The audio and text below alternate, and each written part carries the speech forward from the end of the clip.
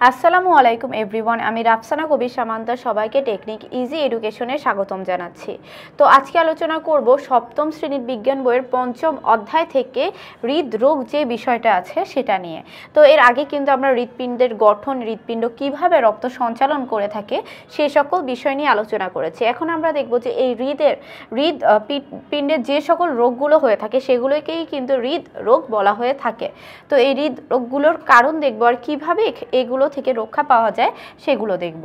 তো প্রথমেই যদি দেখি যে হৃদরোগের কারণ।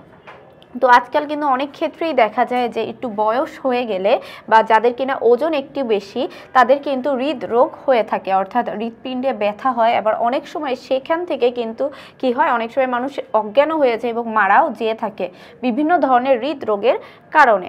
তো এই হৃদরোগের কারণটা কি? অর্থাৎ কি কারণে হৃদরোগগুলো হয়ে থাকে? সেগুলো হচ্ছে প্রথম যে কারণটা এবং অন্যতম কারণ, সেটা হচ্ছে অতিরিক্ত তেল ও চর্বিযুক্ত খাবার খেলে। কেননা যখন অতিরিক্ত তেল ও চর্বিযুক্ত খাবার খাওয়া হয়, সেক্ষেত্রে আমাদের যে ধমনীগুলো থাকে, সেগুলোতে কিন্তু চর্বির একটা আস্তরণ পড়ে। ফলে কি হয়, সেটার যে গহ্বরটা থাকে, ধমনের গহ্বর, সেটা কিন্তু সরু হয়েছে এবং অনেক সহজেই কিন্তু রক্তের যে সঞ্চালনটা, সেটা কিন্তু বাধাপ্রাপ্ত হয়ে যায়। তো প্রথম যেই কারণ, সেটা কি? অতিরিক্ত তেল ও চর্বিযুক্ত খাবার।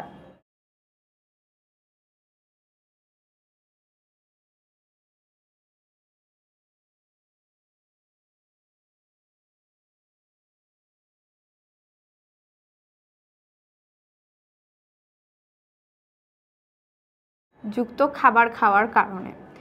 এর পরবর্তীতে যে কারণটা, সেটা অনেক পরিচিত এবং অন্যতম একটা কারণ, সেটা হচ্ছে ধূমপান। তারপরে হতে পারে অতিরিক্ত পরিশ্রম করার ফলেও কিন্তু অনেক সময় হৃদরোগ হয়ে থাকে।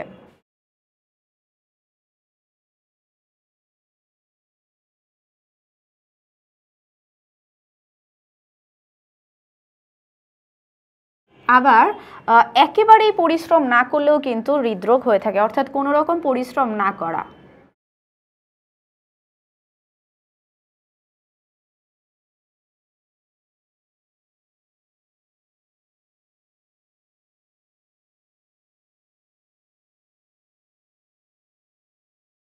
আবার যদি সুষম খাদ্য ঠিকমতো গ্রহণ করা না হয়, সেক্ষেত্রেও কিন্তু হৃদরোগ হয়।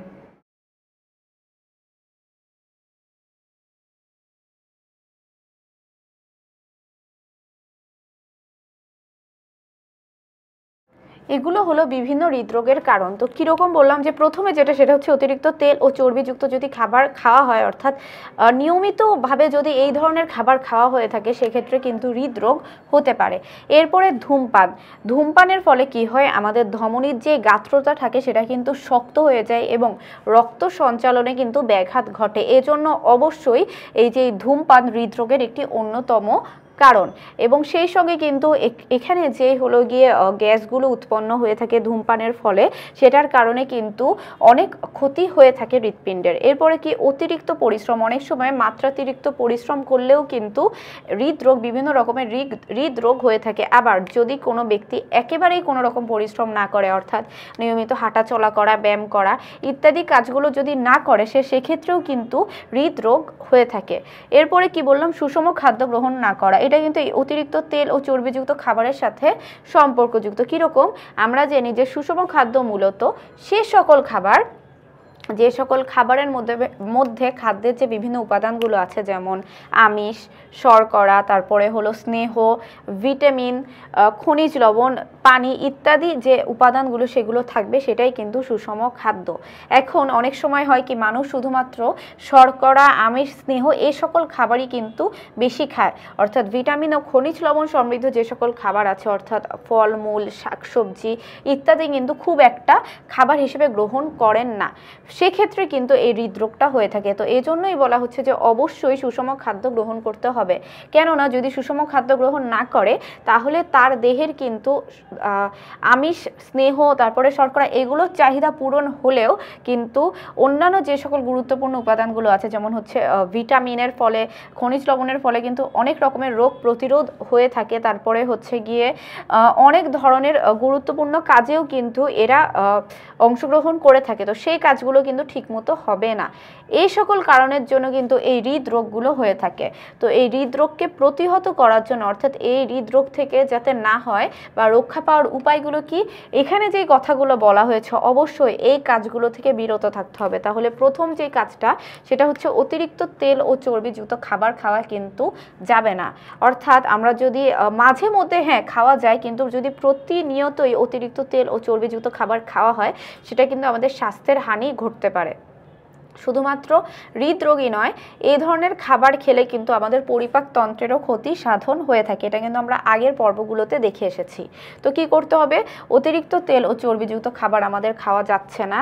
সেই সঙ্গে ধূমপান থেকে বিরত থাকতে হবে। অর্থাৎ কেননা ধূমপানের ফলে আগেই বলেছি যে ধমনির যে গাত্রটা থাকে, সেটা কিন্তু শক্ত হয়ে যায়। ফলে রক্ত চলাচলে আর কি সমস্যা হয়। হৃদরোগটা আসলে হয়ে থাকে বা হৃদ, হৃদরোগের যে কারণগুলো, সেটার মূল কারণ হলো যে ঠিকমতো রক্ত সঞ্চালন না হওয়া। অর্থাৎ হৃদপিণ্ডের যে প্রধান কাজটা, অর্থাৎ রক্ত সঞ্চালন করা, সেই কাজটাই যদি ঠিকমতো না হয়, সেক্ষেত্রে কিন্তু বিভিন্ন ধরনের হৃদরোগ দেখা যায়। তো কি হচ্ছে? এই ধূমপানের ফলে ধমনী গাত্রটা শক্ত হয়ে যায় এবং ঠিকমতো রক্ত সঞ্চালন হতে পারে না। এজন্যই হলো গিয়ে ধূমপান থেকে বিরত থাকতে হবে। তারপরে কি? অতিরিক্ত পরিশ্রম করা যাবে না। অর্থাৎ অতিরিক্ত পরিশ্রম থেকে হচ্ছে বিরত থাকতে হবে। শুধুমাত্র অতিরিক্ত পরিশ্রমই নয়, অতিরিক্ত মানসিক চাপ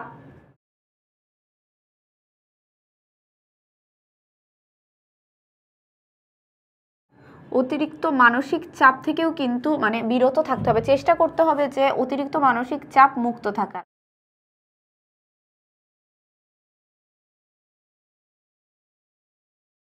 মুক্ত থাকার চেষ্টা করতে হবে। তারপরে কি বলা হচ্ছে যে কোনো রকম পরিশ্রম না করা, অর্থাৎ অবশ্যই কি করতে হবে? নিয়মিত ব্যায়াম করতে হবে।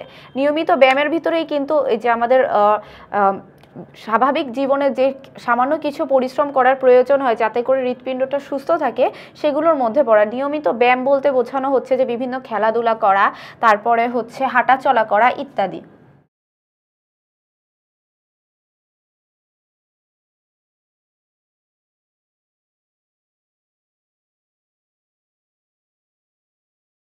অর্থাৎ নিয়মিত কোনো না কোনো পরিশ্রম করতে হবে। অর্থাৎ নিয়ম করে প্রতিদিন কিছু একটা কিছু সময় হাঁটা বা সাইকেল চালানো বা কোনো একটা খেলাধুলা করা, এগুলো কিন্তু নিয়মিত পরিশ্রমের মধ্যে পড়ছে। কিন্তু হ্যাঁ অতিরিক্ত পরিশ্রম করা থেকে হচ্ছে বিরত থাকতে হবে। এরপরে কি?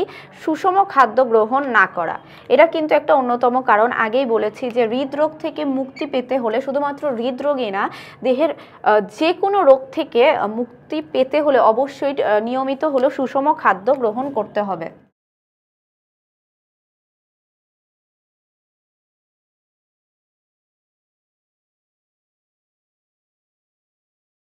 অর্থাৎ সুষম খাদ্য বলতে বোঝানো হচ্ছে যে অবশ্যই আমিষ, শর্করা তারপরে স্নেহ, এগুলো তো খাদ্য তালিকায় থাকবেই।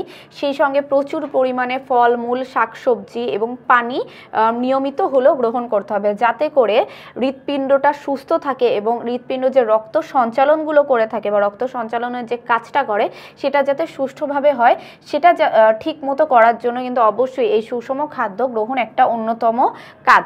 তাহলে আমরা কি দেখলাম? প্রথমে আমরা দেখলাম যে হৃৎপিণ্ড বা হৃৎপিণ্ডের যে সকল রোগগুলো হয় সেগুলোকে কিন্তু হৃদরোগ বলে।